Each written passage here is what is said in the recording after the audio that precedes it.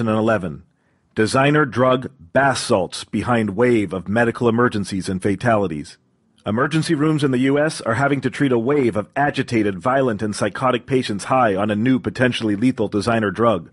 Bath salts, man made stimulant drugs that resemble scented bath powders, are behind a surge in medical emergencies and have been banned in 28 states.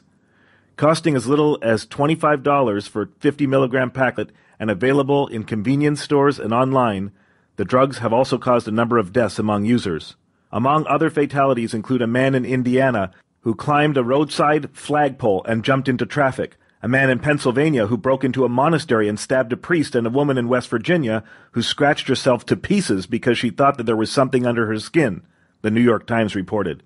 Twelve deaths have been associated with people taking the drug.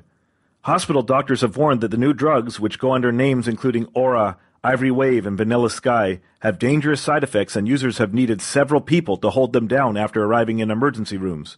Even high doses of sedatives or being shot with a stun gun does not appear to calm users down, and in some cases, patients have had to be put under a general anesthetic. Karen E. Simone, director of the Northern New England Poison Center, told the New York Times, Some of these folks aren't right for a long time.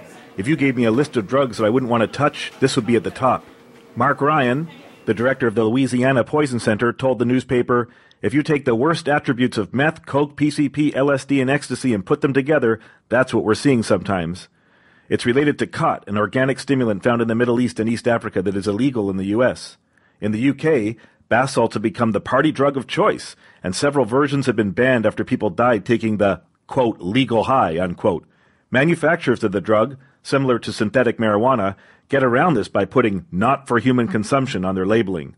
Bans can have limited impact because scientists only have to change one molecule for it to be classified as a new drug. Poison centers in the U.S. have received 3,470 calls about bath salt in the first six months of this year, up from 303 for the whole of 2010. Symptoms include paranoia, hallucinations, high blood pressure, agitation, and increased risk of suicide. Well, folks, that's how the lay press is describing this new bath salt craze. Let's see what Dr. Nort, our resident toxicologist, has to say about it.